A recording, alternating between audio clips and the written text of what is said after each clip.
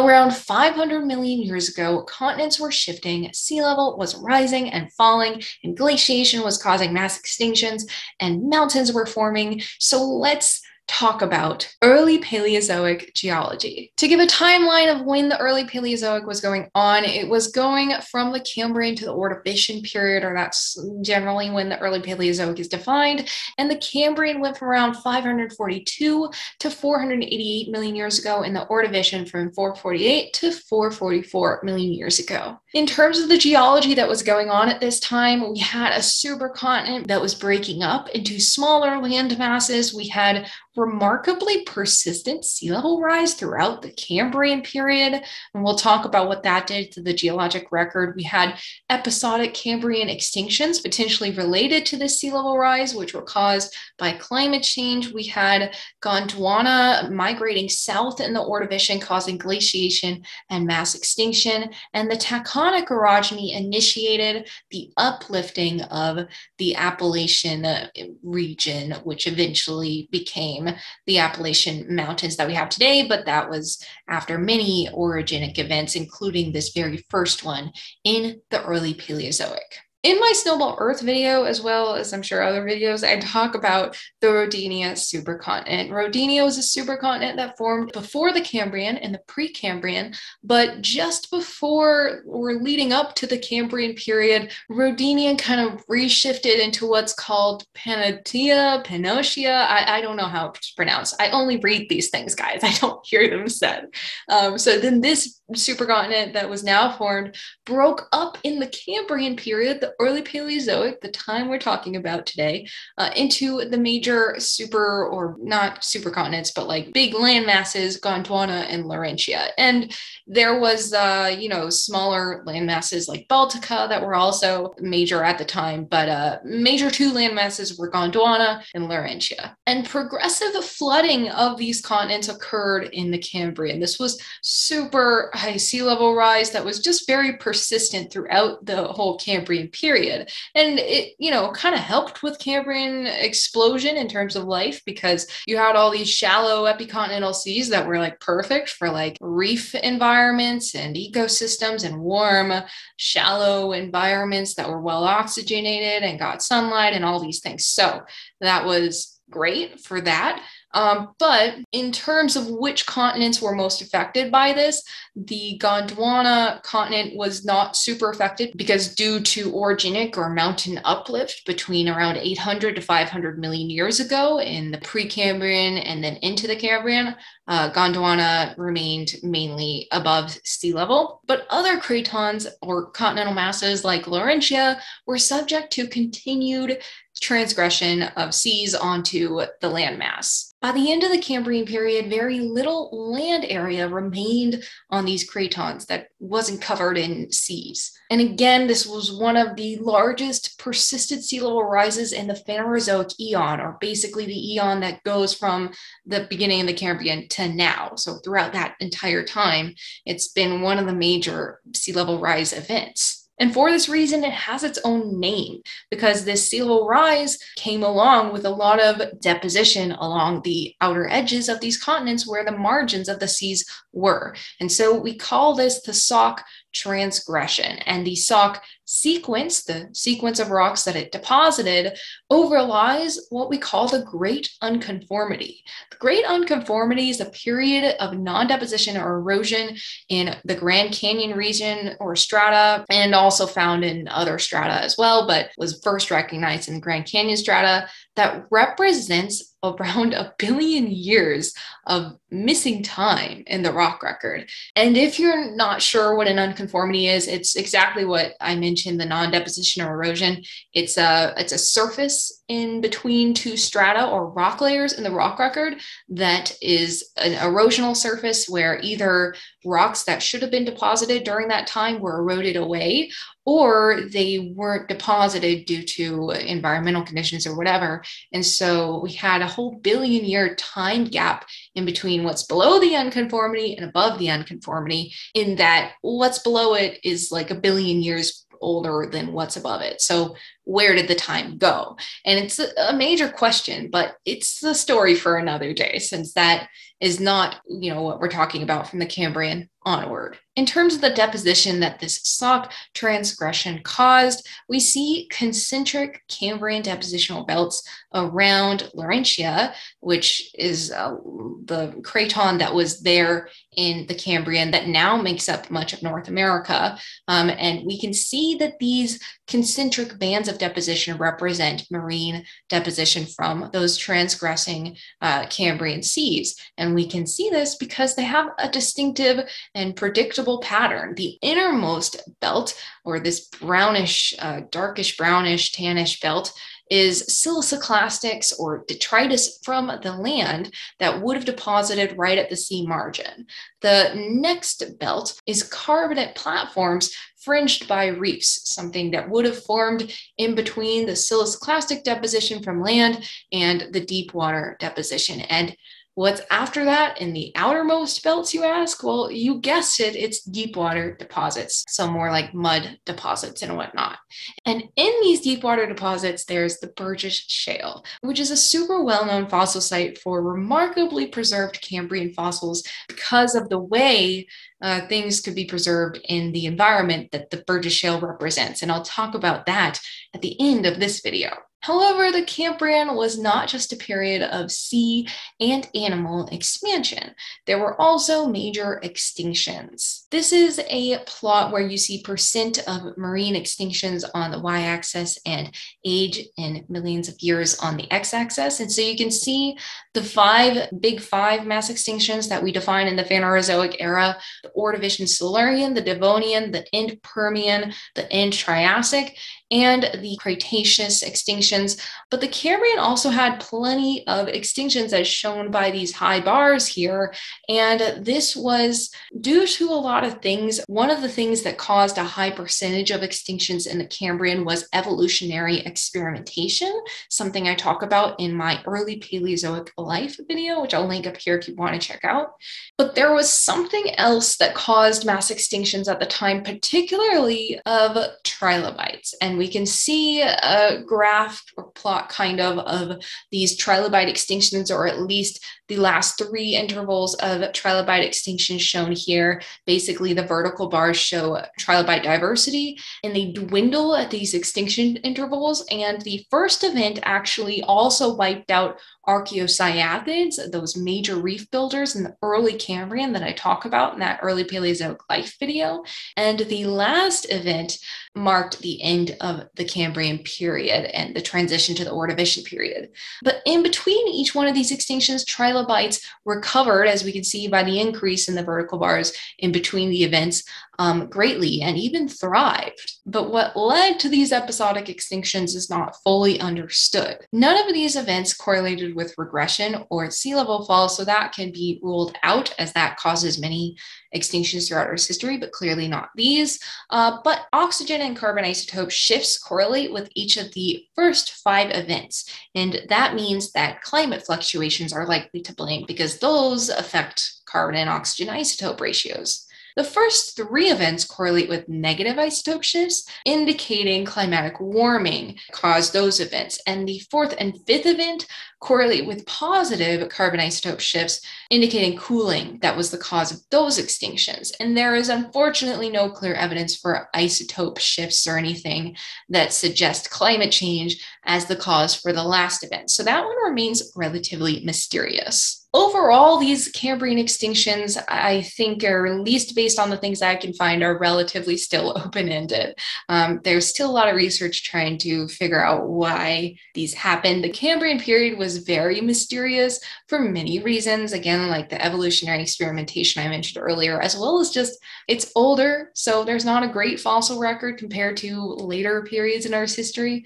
Um, but, you know, these were mysterious extinctions that happened. Uh, moving now to Ordovician uh, geology. And first, we'll start with paleogeography, uh, where the continents were and what was shifting to where. Early in the Ordovician, Baltica, that other continental mass that the supercontinent broke up into, was situated between the equator and South Pole at the time. But then, as the Ordovician progressed, it moved north toward the tropics. And by the end of the Ordovician, limestones had accumulated in the area that is now the modern Baltic Sea. And these limestone deposits include oolites, which resemble the current carbonates being deposited in the Bahamas. So it was probably a very similar environment at the time. Gondwana, the larger landmass south of Baltica, migrated even further south toward the South Pole, and tillites, striations, and drop stones or glacial deposits indicate glaciation on the Gondwana landmass at the end of the Ordovician. According to these glacial deposits, ice sheets spread to within 30 degrees of the equator. So very much, you know, large spread of glaciation. And oxygen isotopes from the marine fossils at this time record this cooling trend. And the isotope ratios indicate that the volume of glacial ice was larger than any Pleistocene glacial maxima, or Pleistocene is the recent um, ice age. And so any recent ice age glacial maxima, it was it was larger ice volume than any of that. So very much lots of ice. This caused a dramatic shift from the Cambrian period, which was sea level rise, to sea level fall. The sea level dropped dramatically as the ice grew, obviously, as it would because the ice is taking water. And a minimum estimate for how much the sea level dropped is around 165 feet or 50 meters, but oxygen isotopes suggest that it was much greater. The glacial interval only lasted about half a million years, but had disastrous effects including draining the epicontinental seas that had formed in the Cambrian and allowed these communities of shallow sea organisms to thrive. And that caused mass extinction, as well as cooling and glaciation and other things that also caused extinction. But the draining of the seas was one of the major things. And this mass extinction was the first of the big five mass extinctions throughout the Phanerozoic eon that I mentioned earlier, called the end Ordovician or late Ordovician mass extinction. Now moving to Ordovician geology. So, what mountain building events or tectonic events were building mountains at the time? During the Ordovician, the eastern margin of North America, or what at the time was Laurentia, was subject to tectonic activity that uplifted that margin and built mountains in what was called the Taconic orogeny, or an orogeny is a mountain building event. So the Taconic mountain building event. This was the first of three mountain building events or orogenic events that built the Appalachian mountain belt that we know so well today. And the second two events will be discussed in future mid to late Paleozoic videos. But this video will talk about the Taconic orogeny, which resulted from collision between Laurasia, the major North American craton at the time, and several islands. And the rocks in what is now the Central Appalachians record the transition and deposition during this first orogenic event. What I mean by this depositional transition is that carbonates were bordering eastern Laurasia at the time before this collision event.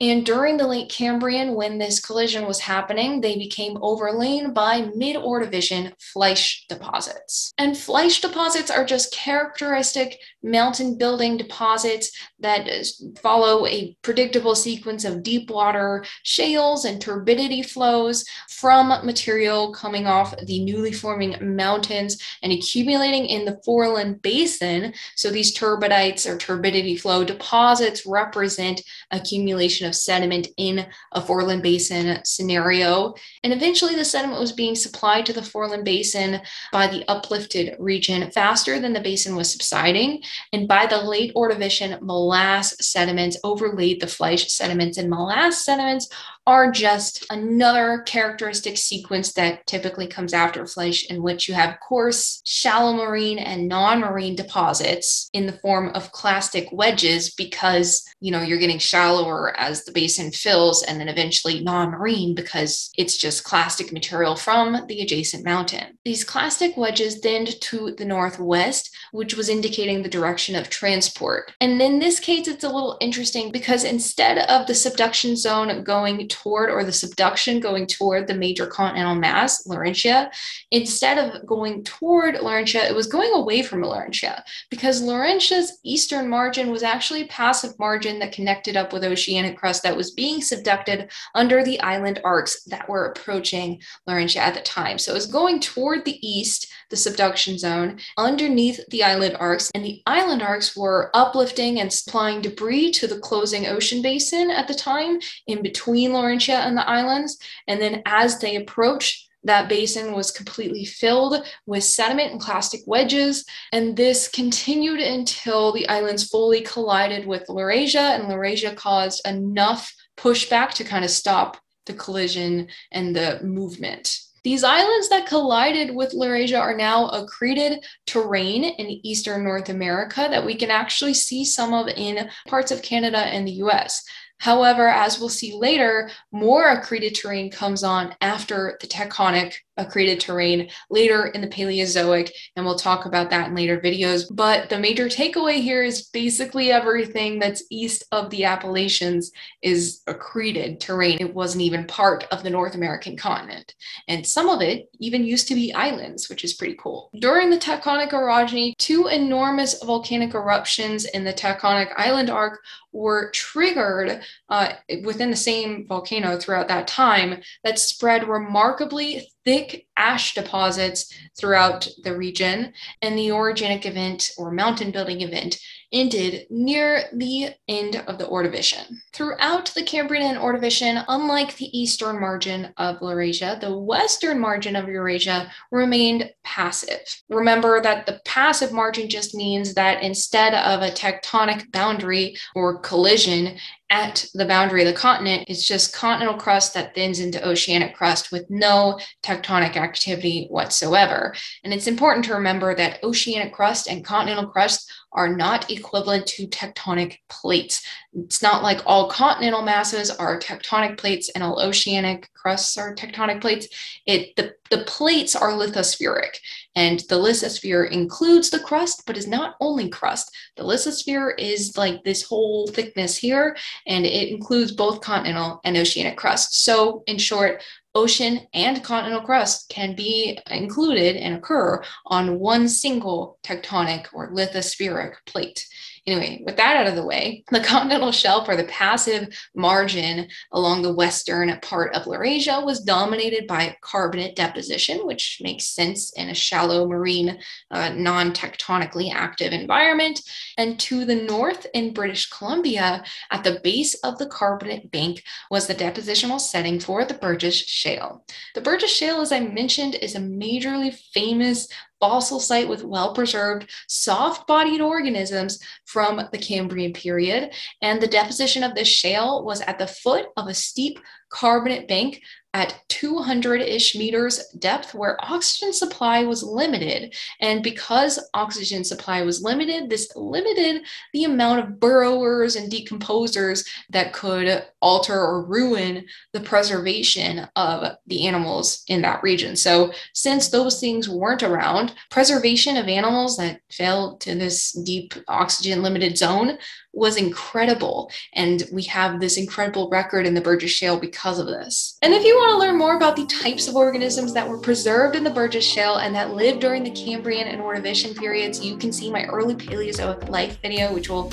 pop up at any moment. And I also have my Ordovician extinction video where I talk about the mass extinction that was caused by the glaciation at the end of the Ordovician period. And if you want to check out the Earth history playlist, it'll pop up here any second. And if you want to check out the major reference I'm using for this and other videos in this playlist, it's called Earth System History. It's linked down below in my description. And if you want extra or bonus content, you can press join down below and you can become a channel member to get perks and extra content. Uh, but if you can't do that, I totally understand. You can still press the like button, which is totally free, and I would greatly, greatly appreciate that. Thank you guys so much for watching, and I'll see you guys next time. Bye.